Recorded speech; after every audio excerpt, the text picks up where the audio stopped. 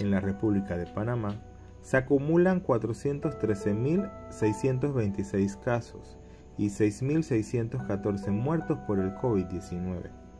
Estadísticas del 13 al 19 de junio casi duplicaron las de mediados de mayo en cuanto a los infectados, lo cual elevó las cifras acumuladas en junio y confirmó la tendencia al incremento del contagio. Y si bien subsisten indisciplinas en sectores de la población al respecto de las medidas de bioseguridad, la mayor parte de los habitantes tomaron conciencia de la necesidad de protegerse. Es por ello que de seguir el aumento de casos en el país, las autoridades tendrán que tomar medidas tales como los fines de semana de cuarentena, que ya están sucediendo en diferentes distritos del país. Y esto acarrea un impacto en la economía de las pequeñas empresas, como nos los comentan en las siguientes entrevistas.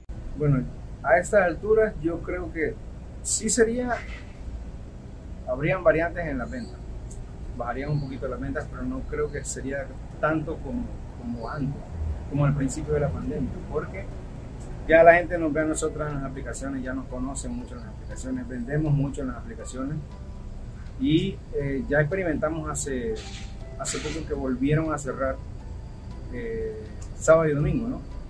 Entonces nosotros pensamos que no se iba a vender nada, pero en realidad eso fue puro delivery, pero la venta fue, de hecho, de los fines de semana que se vendía más que antes. Entonces, mediante las aplicaciones, sí, un restaurante puede sobrevivir. Lo que estamos haciendo, bueno, nos acoplamos, porque por ejemplo los horarios cuando los cambian, que ponen la toque de queda más antes, más temprano, igual tenemos que cerrar más temprano.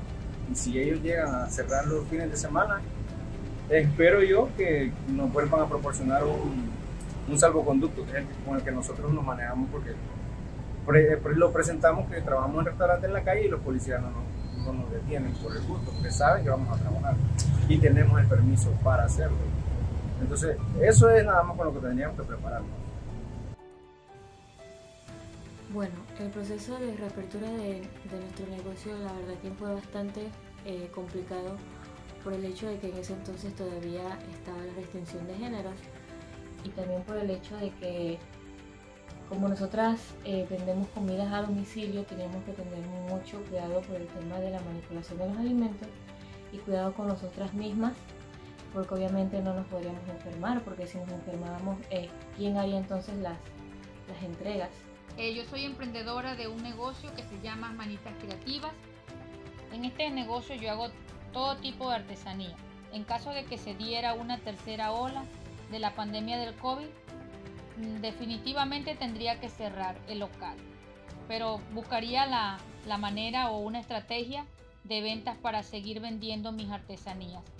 Trataría de ajustar los precios como lo hice cuando ocurrió lo de la primera pandemia eh, porque las ventas eran bastante bajas al inicio. Era bastante preocupante ya que de este negocio eh, forma parte eh, del ingreso familiar. Mi nombre es el doctor Juan Carlos Jiménez, coordinador de la vacunación en la escuela Isabel Herrera de Ovaldía. En este caso estamos poniendo vacunas Pfizer, pero en nuestro país se está poniendo dos tipos de vacunas, la Pfizer y la AstraZeneca.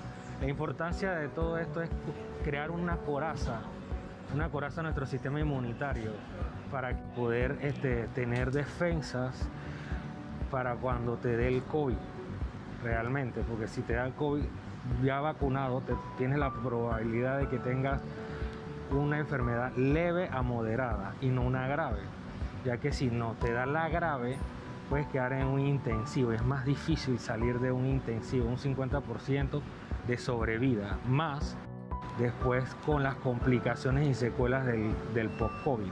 Entonces, esa es actualmente la importancia de la vacunación, el de crear una fortaleza en nuestro sistema inmunitario. Panamá está implementando una estrategia de vacunación masiva para alcanzar en los próximos meses la tan anhelada inmunidad de rebaño.